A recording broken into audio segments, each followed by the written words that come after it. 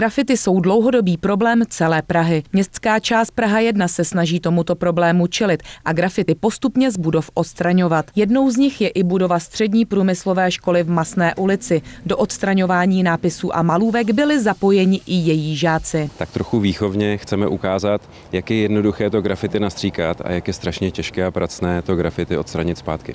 Cílem dnešní akce je to, aby jsme v momentě, kdy e, na tomto objektu, který je vedle nás, e, sundáváme grafity, aby jsme k tomu měli i nějaký doprovodný program. Do cílové skupiny delikventů poškozující pražské zdi patří většinou žáci mezi 13. a 17. rokem. Proto půjdeme do škol a budeme se snažit vysvětlovat a říkat jim, jaké to sebou nese rizika. Rizika jsou taková, že pořizování grafitů není pouze přestupkem, ale trestním činem. Studenti si potom měli možnost vyzkoušet, že jejich odstranění není úplně tak jednoduché jako jejich pořízení. A jak se vůbec na samotné grafity dívají sami studenti? Co se týče těchto jakoby nějakých čmáranců, který nedávají třeba smysl, je tak ničemu a jenom to znečišťuje jakoby tu zeď. Konkrétně tady o té zdi, tak to se mi taky nelíbí, protože si myslím, když jsme v té staré části Prahy, tak se to sem vůbec nehodí. Sama jsem překvapená, jak těžko se dá odstranit sebe menší nápis. Zároveň si teda myslím, že je i dobře, že slyšeli, že je to trestný čin. My budeme postupovat na svém majetku,